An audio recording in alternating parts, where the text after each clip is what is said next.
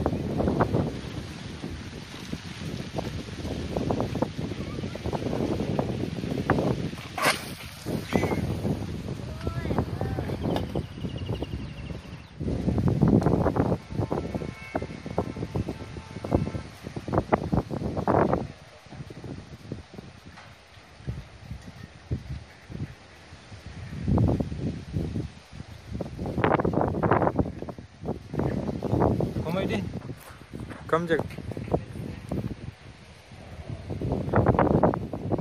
तात्कालिक।